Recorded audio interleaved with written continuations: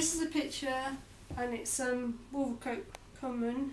If anybody knows Wolvercote Common, it doesn't look anything like that. And also, this is a bird.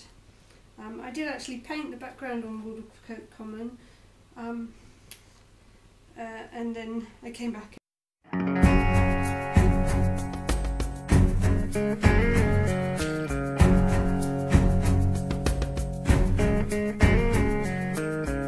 Stop Just take my hand, hold it tight.